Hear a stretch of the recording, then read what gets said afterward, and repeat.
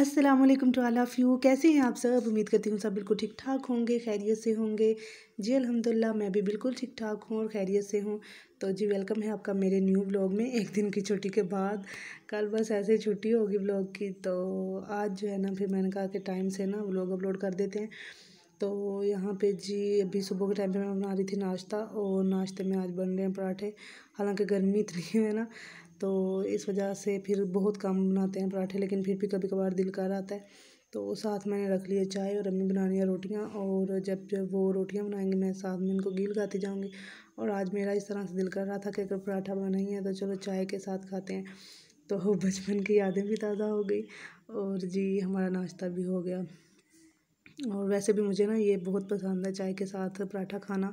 और दूसरा पराठा हो तो फिर तो और भी ज़्यादा पसंद है, लेकिन फिर ये नॉर्मल मैंने इस दफ़ा बनाए थे, दूसरे बनाए कोई नहीं।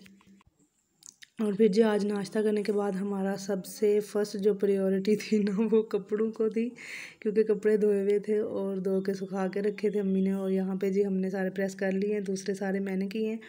और ये लास्ट वाला ना रह गया था अबू का कॉटन का सूट तो वो मैं अम्मी से करवा रही हूँ क्योंकि वो मेरा किया हुआ ना अम्मी को पसंद आता है, ना अबू को पसंद आता है तो इस वजह से फिर वो खुद करती हैं।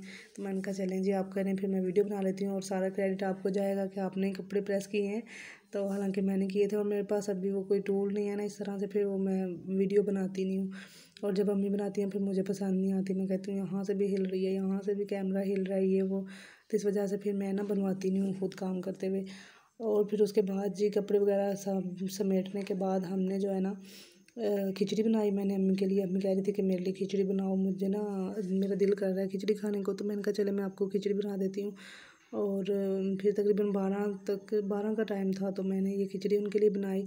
और माशाल्लाह बड़ी ज़बरदस्त बनी थी। मसर जो है ना, साबुत मसर की खिचड़ी इतनी ज़बरदस्त बनती है।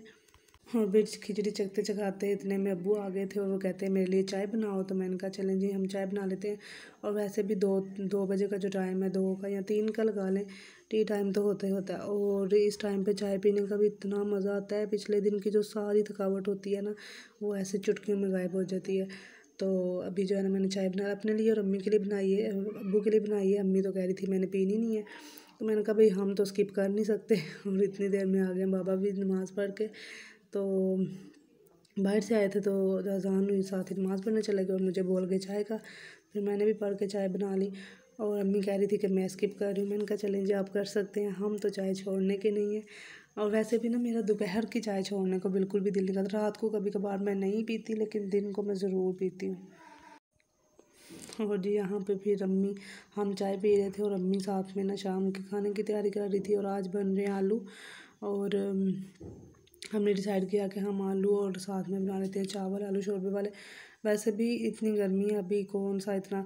और जैसे हमारे खैर से बस क्या बोला जाए? बस ठीक है, जो कुछ हो रहा है होने दे। और यहाँ पे जी बना रही हैं हाँ ये जो मैंने कहा आप मुझे ना सब्ज़ी वगैरह बना दें। पका मैं खुद लूँगी तो कहती हैं, चलो ठीक है ठीक है। और जब मैं बोलती हूँ ना अम्मी आप सब्ज़ी बना दें, मैं खाना जो है ना, मैं ख़ुद बना लूँगी। तो फिर फटाफट चुटकियों में अम्मी सब्ज़ी बना के देती हैं कि चलो खाना ये खुद, अब हामी बढ़ रही है कि खाना खुद बना लेगी तो ये कर देती हूँ। और मैंने जो है ना, सब्ज़ी बनवानी होती है अम्मी से और आटा गुंदवाना होता है, ये दो काम मैं खुद नहीं करती। तो इस वजह से फिर जो है ना, अम्मी को पकाने में ज़रा उलझन आती है और मुझे ये काम करने में उलझन आती है। तो इस वजह से फिर हम जो है ना, काम बांट लेते हैं। और जी यहाँ पे रख लिया मैंने तड़का और तड़का जी हो गया मेरा तैयार बिल्कुल और इसमें नमक मिर्च डाल दी और अभी जो है ना सारे मसाले वगैरह डाल के आलू को भून लेंगे। आलू का क्या भूनना है? वो बस दो मिनट उसको लगेंगे तो आलू साहब जो है ना वो रेडी हो जाएँगे और साथ में हमने अबू से पूछा हुआ था कि हम चावल बनाएँगे तो वो मान गए थे, कहते ठीक है, बना लेना। तो अभी जो है ना मैंने फिर साथ में चावल भी रख लिए थे। मैंने कहा जो है ना, गर्मी में बचत हो जाएगी ना अपनी, क्योंकि गर्मी जब होती है ना, फिर बहुत वो किचन में खड़े नहीं होना होता। और इसलिए फिर मैं साथ साथ मैंने कहा, शुक्र है, आज रोटियाँ नहीं बनानी। तो चलो, एक साइड पे चावल रख लेती हूँ, एक साइड पे हांडी बन जाएगी और आराम से जो है ना आस्ता आस्ता काम हो जाएगा और दोनों काम एक साथ ख़त्म हो जाएगा। और वैसे, वाकई ऐसा ही हुआ कि दोनों काम एक साथ ही ख़त्म हो गए थे जी मेरे। साथ ही चावल बन गए, साथ ही हांडी बन गई और मैंने कहा, चलें जी, गर्मी में ये भी जान छोटी। और मेरे पास में होना तो मैं रोज़ चावल बनाऊँ मैं रोटियाँ बनाऊँ ही नहीं कभी। और अगर जिस दिन रोटियाँ खानी हो, उस दिन मैं बाहर से मंगवा लूँ तंदूर से, लेकिन मेरे बस में नहीं है। तंदूर वाली रोटी हमारे घर में कोई खाता नहीं है, और अबू तो बिल्कुल भी नहीं खाते तो इस वजह से जो है ना, फिर घर पे बनानी पड़ती है। और वैसे भी हमने तीन, चार चार, पाँच रोटियाँ बनानी होती हैं। कौन सा हमारी ज़्यादा बनती हैं, जिनकी ज़्यादा बनती है, पूछे तो बंदा उनसे कि उनका क्या हाल होता होगा। और जी यहाँ पे हो चुकी है शाम और अबू आ गए थे मगरिब के बाद और फिर हमने कहा कि चले हम खाना खा लेते हैं। और अभी जो है ना मैं खा रही हूँ खाना वगैरह और अम्मी साथ अबू भी हैं, अम्मी भी, हमने इकट्ठे खाना होता है। तो अम्मी गई हुई हैं दूध लेने, दूध वाला आ गया था तो अम्मी कहती चलो मैं दूध पकड़ लेती हूँ। तो वो तो अपना छोड़ के चली गई हैं और यहाँ पे मैंने कहा, चले अबू को ना लूती लगा दी। क्योंकि हर टाइम जो है ना अबू तंग करते हैं कि हमारी प्लेट से या हमारी डिश से कुछ ना कुछ खाना हो तो। तो सालन वगैरह हो रोटी के साथ तो फिर भी उन्होंने ज़रूर करना होता है। तो मैंने कहा, आज मैं अबू को तंग करती हूँ ना। तो लेकिन उन्होंने भी अपना बदला पूरा कर लिया था। मैंने थोड़े से लिए थे, उन्होंने वो मैं कितने ज़्यादा ले गए थे।